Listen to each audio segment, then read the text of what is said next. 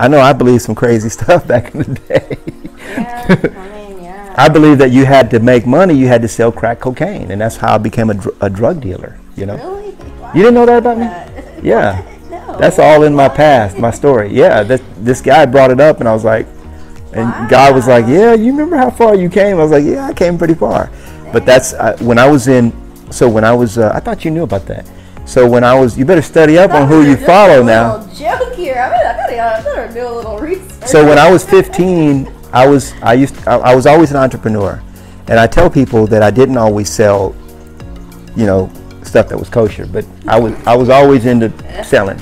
Back then, I didn't care anything about but making money, and uh, I was very uh, egotistical and very, um, you know, I was just an angry kid basically. Um, I grew up uh, believing that I was worthless, I was no good, I was an accident. I was actually told that that you know you you were an accident. We didn't we really didn't mean to have you, stuff like that. And so and and again forgiveness. Why? Because at a, at, at a certain point you realize, and this is what uh, deep stuff that Hawkins teaches. You realize that there is nothing to forgive. Dude, that's a whole new level, and and that, that that's why I don't teach that really. But so so the the first level is you forgive everyone for everything they've done. Okay, that's that's the initial level of forgiveness. The acid test of forgiveness, as Joseph Murphy says, is when somebody tells you about that individual and uh, like, hey, they're doing great. I heard they just got a new job and they got a brand new Mercedes. That how do you feel about that person when they tell you that? That's the acid test of forgiveness. Did you really forgive? Now, if you're happy for that person, you don't want them back in your life again, probably. But if you're genuinely happy for that person, like, wow, that's great. I'm glad that th- things are going up for that person. Then you've really forgiven them. If you're you're like, ah, ah, ah, then you it's it's an acid test. Um, so so forgiveness forgiveness is really for me, right? It's not for the other person. We know that. Um, because to not forgive is like taking, you know, you know, a, a piece of rotten meat or a piece of meat and just put it in the attic. Well, I know what's going to happen to it in a month if I don't check on it or whatever. And I put that in my heart and it's just going to rot and fester and affect me, not the other person. They're living, enjoying their life, whatever they're doing. So that's the first level of forgiveness. But the second level of forgiveness, when you start to read letting go and you start to internalize all that stuff, takes it takes some time. Some people it, it very quickly, but eventually you realize the paradigm shift is that there's nothing to forgive because everything happened for a purpose. And think about this for a minute. What if I actually picked my mom and dad? What if what if I was like, wait, wait, wait a minute, God, send me into that family, because I want to experience that. You know, you see what I'm saying? So now people could say, well, there's no way I picked my family. Well, if you don't believe that, maybe you believe God picked them for you.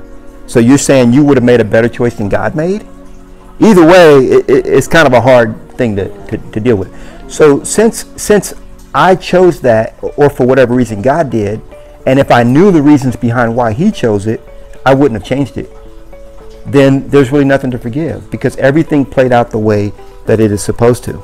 This goes way out there, but the one, the way one guy put it, he says, um, let's say you know we were all in you you and I were in heaven, and you we were like, uh, hey, I want to I want to understand how what betrayal feels like.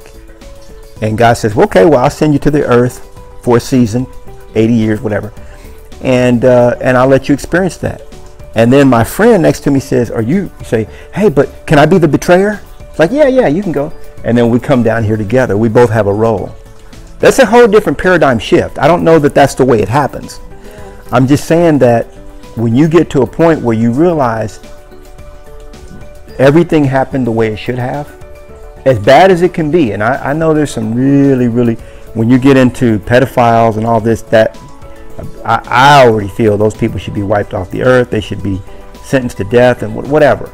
Regardless of that, um, at some level, you know, you get to a point, and I'm I'm there, where I realize that there there is there is nothing to forgive because the person was doing the best that they could with the information they had. You know what I'm saying?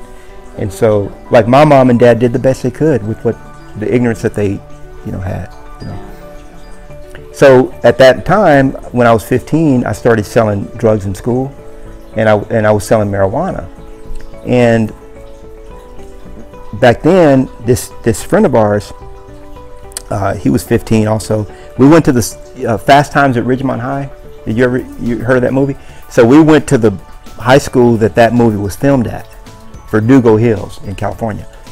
We call it Verdugo because, anyway, it, so this guy would go his his uh, his brother sold weed and he would have a trash can full of weed, and so what he would do is he would get a bread bag like a Wonder Bread type bag, and he would fill it up. We'd say, man, uh, uh, Tim, go fill it. What I don't remember his name, but Tim, go fill this up about that much, and we'll give you 20 bucks. And he would go do it. So he would take the weed out, and then he would smooth it over so his brother couldn't see that he had taken any, and then we would pay him. And then what I would do is I would roll. I figured out that you could roll joints and make more money than selling them by tens. So I'd roll joints, and I'd go to school every day with 30 joints, and I'd sell them for a dollar a joint. well, it so happened that one of the kids in school was a narc. We didn't know, but he was an undercover narc. And so one day I got a, uh, and I had sold to him like four times. And so one time I got a pink slip to go to the principal's office, and we I went and they said J.D. Knolly Williams, and they put me up against the wall. That means juvenile delinquent, and it was this kid in a uniform. I was like, what? You know, he looked like a kid, but he was a police officer. And so I went to juvenile hall. I mean, he looked really young, uh, and I was in school. I was I was in that juvie for six weeks, awaiting trial, and so I had four felonies basically at that point, selling to a police officer. You know, so when I got out, but when I was in juvenile hall, one of the kids, his name is Bam, who was in there, he was like, "Man, you're selling joints for a dollar. I'm selling rocks for 25 bucks each, a gram." I was like, well, what's that look like? So he picked up a rock off the yard. He showed it to me. He said, I could sell that for 25. I said, 25 bucks? And I'm spending, I'm rolling all these joints. All these joints I could sell that for 25. He's like, yeah, you get out. I'll hook you up. Just ask for so-and-so. So here it was. I got out. And then I had another buddy I met in there. He taught me how to rob, you know, houses. So I became a thief and a dope dealer. Learned that, and, and then and then I mean, I was it was bad. It was real bad. But then that then you know Jesus got a hold of me when I was 18, and that's when everything changed. You know, everything changed. But I, I was on a I was on a whole different. You know, my best friend went to jail for attempted murder. My buddy, who was teaching me the game, he got locked up for life behind because he was on parole and he was selling. We, we got there was a raid on the projects where we were selling. He got caught, and then uh, another buddy of mine. I mean, attempted. This one that I just talked to, he he he went to jail for murder and got out. You know, because it was self defense. But um, that was my life. That was supposed to be my experience, and but God had other plans. You know, for me. I know. Look, we're sitting here. We're hanging out.